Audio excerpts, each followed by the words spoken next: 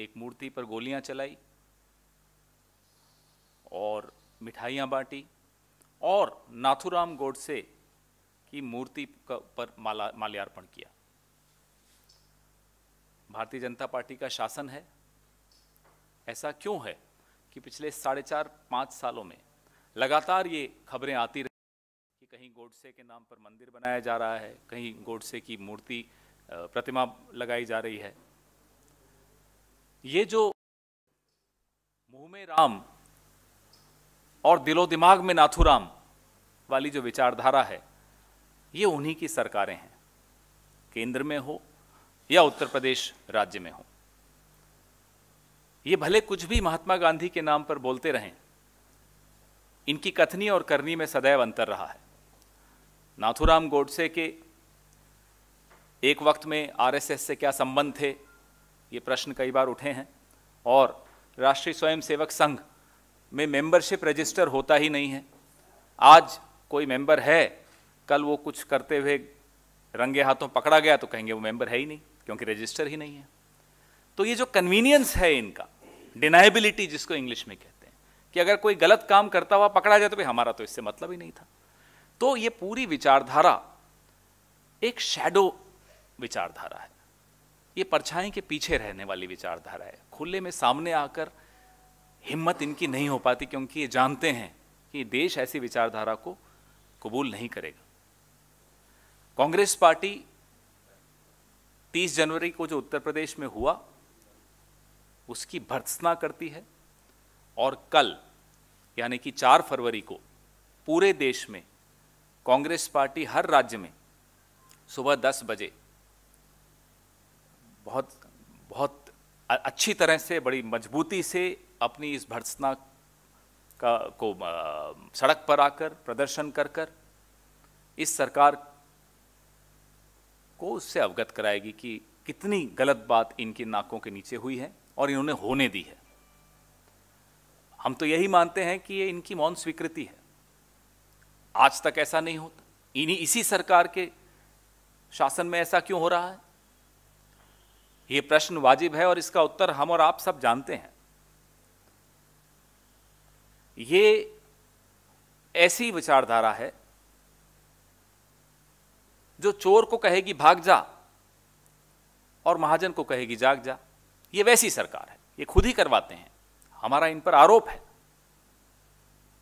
सदैव इनका, इनकी जो सहानुभूति थी, वो गोडसे और उस विचारधारा के साथ थी। इसलिए मैं आपको ये सूचित करने के लिए यहाँ आया हूँ कि कल अखिल भारतीय कांग्रेस कमेटी पूरे देश में प्रदर्शन और धरना करेगी सुबह 10 बजे पूरे रा, सारे राज्यों में। कोई प्रश्न हो आपके तो बताइए।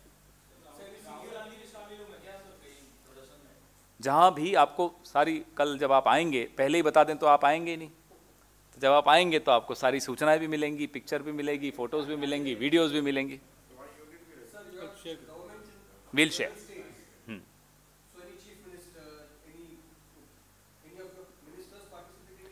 whoever is there will participate. All the PCC presidents have been directed to hold demonstrations tomorrow across the country at the state headquarters.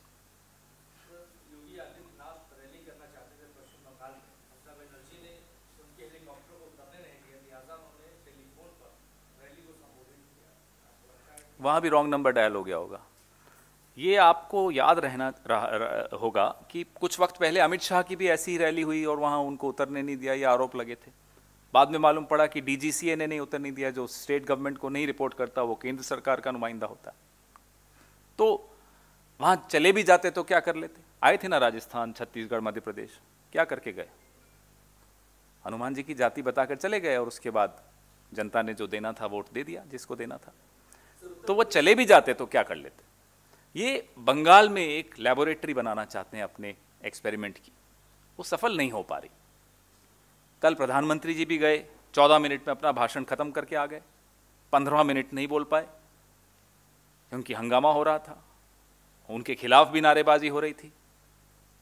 तो ये जाए, न जाए, भाषण दें, न दें, फ़ोन पर दें व्हाट्सएप पर दें, उससे फ़र्क क्या पड़ता है? जनता जो प्रश्न पूछती है, उसका उत्तर न अजय सिंह बिश्त दे पाएँगे।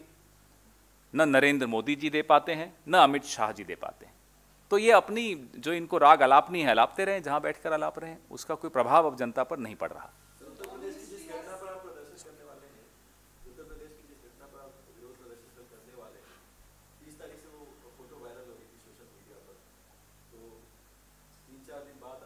हमने प्रतीक्षा की कि शायद सरकार की तरफ़ से कोई कार्रवाई होगी। शायद कोई निंदा होगी, शायद कोई ऐसा एक्शन दिखेगा। क्योंकि हम गैर जिम्मेदार राजनीतिक दल की तरह तो नहीं कि जहाँ वहाँ कुछ हुआ और हमने यहाँ प्रदर्शन कर दिया, समय दिया हमने। हमने सोचा कि संविधान के दायरे में चलने वाली सरकारें हैं, शायद नींद खुलेगी इनकी, लेकिन इनकी नींद नहीं खुल रही। किसकी सरकार है उत्तर प्रदेश में? कौन सी विचारधारा है जिस, जिसने ये किया? और कोई पहली बार तो ये इस विचारधारा ने ये किया नहीं है। पिछले चार साल में हम बार बार सुनते हैं कि कहीं उनकी नाथुराम गोडसे की प्रतिमा लगा दी है, कहीं मंदिर बन गया है उनके नाम पर। लेकिन ये होना कि महात्मा गांधी की तस्वीर पर आप गोलियाँ चला रहे हो और नाथुराम गोडसे का सम्मान कर रहे हो। केंद्र में आपकी सरकार। आपको याद होगा, जब उत्तर प्रदेश में चुनाव से पहले समाजवादी पार्टी की सरकार थी, दंगा हुआ था या दादरी का कांड हुआ था तो झट से राजनाथ सिंह जी और ये लोग कहते थे भाई, वहाँ कानून व्यवस्था राज्य सरकार जाने, हम, हमसे क्यों पूछ रहे हो? तो अब हम इनसे इसलिए पूछ रहे हैं कि अब राज्य में किसकी सरकार है? अब भी आप जवाब नहीं देंगे तो आखिर कब जवाब देंगे? You are asking something ma'am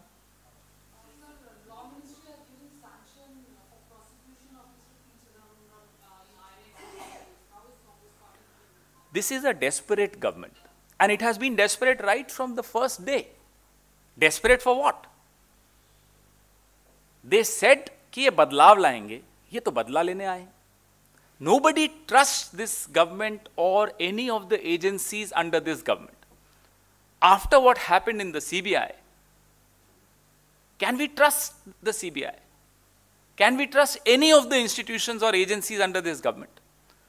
Let the law ministry do what they have to do.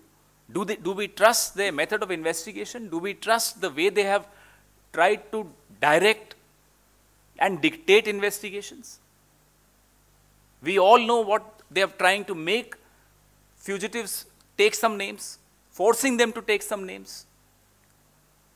So, how can we trust anything done by a government which is sitting in the departure lounge? You, up.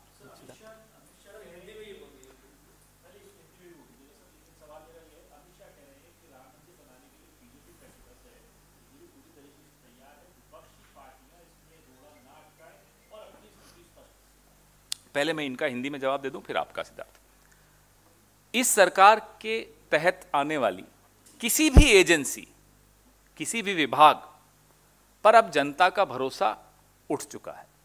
ये बोलते थे कि हम बदलाव लाने वाले हैं और ये सिर्फ़ बदला लेने वाले लोग निकले। इनकी नीयत पे अब किसी को भरोसा नहीं रहा। किस तरह की जाँच ये करते हैं उस पर भरोसा नहीं रहा। लोगों को पकड़ कर लाते हैं, उन पर दबाव डालते हैं कि भाई, अपने राजनीतिक प्रतिद्वंदियों का नाम लेकर बोलते हैं कि उनका नाम ले लो। तो ऐसी बातें रोज निकल कर आ रही हैं। सीबीआई में क्या हालत कर दी इन लोगों ने? अब सीबीआई पर किसको भरोसा रहा? ईडी पर किसको किसको भरोसा रहा? ऐसे ऐसे अफसर ये लोग उठा उठा कर गुजरात से ले आएँगे।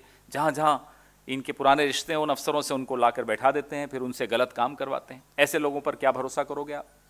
तो अब जो सरकार डिपार्चर लाउंज में बैठी है उसकी द्वारा किया गया कोई भी कार्य। इस तरह का बदला लेने की कार्य हो या कोई और कार्य हो, उस पर लोगों को अब भरोसा नहीं रहा। सिद्धार्थ, आपने जो प्रश्न पूछा, ये बात क्यों भूल जाते हैं अमित शाह कि सरकार इनकी है? उत्तर प्रदेश में भी इनकी सरकार है, केंद्र में भी इनकी सरकार है, कोर्ट में विपक्ष कोई पार्टी नहीं है, कोर्ट में यह भी पार्टी नहीं है। ये हमसे क्यों पूछ रहे हैं? अरे जवाब आपका देना बनता है क्योंकि आपने मैनिफेस्टो में लिखा है। आपने लोगों को मूर्ख बनाया राम मंदिर के नाम पर। एक बार नहीं पाँच पाँच चुनावों में आपने मूर्ख बनाया तो अब विपक्ष से क्यों सवाल पूछा जाएगा? हम भी इंतज़ार कर रहे हैं, आप जवाब दीजिए। बीच में एक शिगुफा छोड़ा इन्होंने। इनके एक राज्यसभा के सांसद हैं, राकेश सिन्हा, कि मैं प्राइवेट मेंबर बिल लाऊँगा। अरे, आप सरकारी सांसद हैं, सरकारी बिल लाइए। ये प्राइवेट बिल का क्या शिगुफा छोड़ा? अब वो भी चुप हो गए। जब हमने उनसे पूछा कि आपको क्या सरकारी बिल लाने की अनुमति नहीं मिल रही भारतीय जनता पार्टी सरकार से? हमसे क्यों प्रश्न पूछ रहे हो कि प्राइवेट मेंबर बिल का सपोर्ट करोगे या नहीं? तो चुप हो गए। अब अमित शाह जी भी हमसे पूछ रहे हैं। अरे सत्ता में आप, दो सौ बयासी सीटें आपकी 21 राज्यों में आपकी सरकार। यूपी की म्यूनिसिपैलिटीज में आप, यूपी की सत्ता आपके हाथ में। फिर भी आप हमसे पूछेंगे, कितना मूर्ख बनाओगे आप जनता को? राम मंदिर का मामला हो, विकास का मामला हो जो आप इनसे प्रश्न पूछो कहेंगे विपक्ष। अरे, हम तो विपक्ष में हैं। अब आपका फ़र्ज़ बनता है कि आप जवाब दीजिए और स्पष्ट उत्तर दीजिए। भगवान राम के अनुयायियों को भी स्पष्ट उत्तर दीजिए और जो आपसे विकास की उम्मीद लगाए बैठे थे उनको भी स्पष्ट उत्तर दीजिए। एनीथिंग एल्स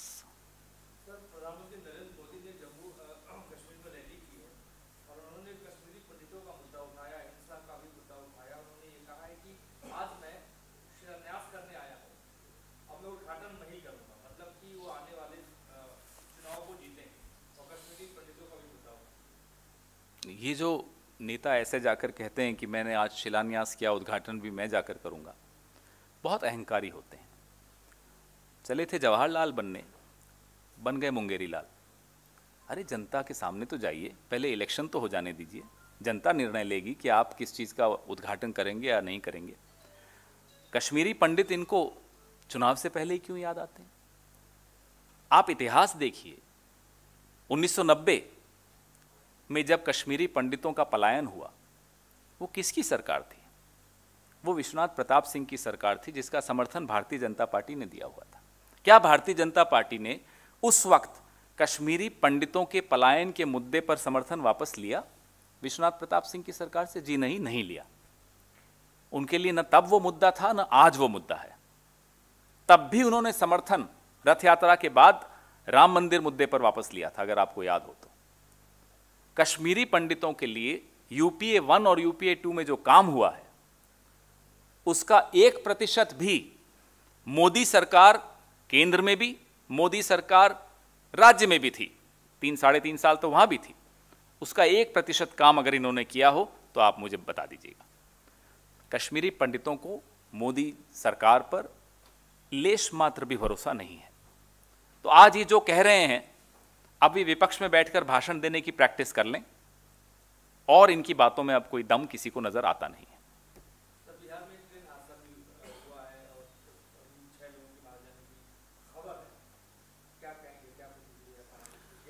बहुत दुखद हादसा था।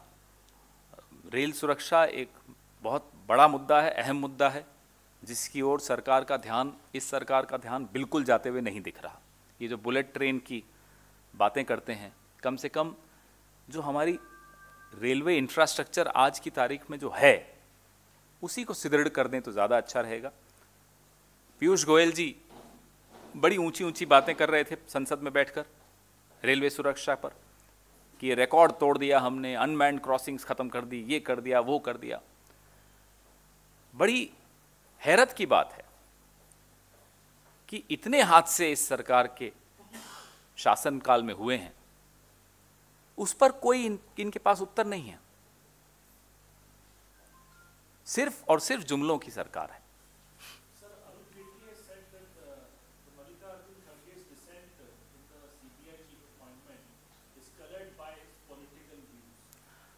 अरुण जेटली क्या उस हाई पावर कमेटी के सदस्य हैं? नहीं है। वो बाहरी व्यक्ति हैं इस हाई पावर कमेटी के। उनको कहने का अधिकार क्या है? ये मुझे नहीं समझ में आता। बनस्पत उसके आप तुलना करिए। तो खड़गे जी तो हाई पावर कमेटी के सदस्य हैं। उनका अधिकार भी है, उनका कर्तव्य भी है कि वो अपना डिसेंट नोट लिखें अगर उनको लिखना है तो। उनके पास कारण थे। वो उन्होंने कारण उस डिसेंट नोट में लिखे। ये, तू कौन मैं खाम खा? अरे आप बाहर बैठे हैं। ना आपको सरकार पूछ रही है बजट बनाते वक्त। आपने तो कुछ और कहा, निकल कुछ और रहा है बजट में। आप बाकी सारे कामों में टांग अड़ा रहे हैं? क्यों भाई? जब आप उस एचपीसी, हाई पावर कमेटी के सदस्य ही नहीं हैं तो आपका बोलने का अधिकार भी नहीं है। आप चुप बैठिए। ये बड़ी बीमारी है हमारी भारतीय जनता पार्टी के नेताओं में, हर जगह बोलने की। जहाँ नहीं बोलना चाहिए, वहाँ बोलते हैं, जहाँ बोलना चाहिए, जहाँ लोग उत्तर सुनना चाहते हैं, वहाँ बोलते नहीं। Thank you